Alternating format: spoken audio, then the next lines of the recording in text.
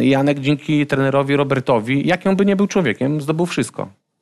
Zdobył sławę, zdobył pieniądze, zdobył, zdobył tytuł. Wszystko dzięki e, trenerowi Robertowi, który jako tako pracował z nami wszystkimi, ale najwięcej pracował z Jankiem, z nim trenował, z nim nie sparował, ale robili zadaniówki, techniki, no strasznie dużo trener poświęcał mu czasu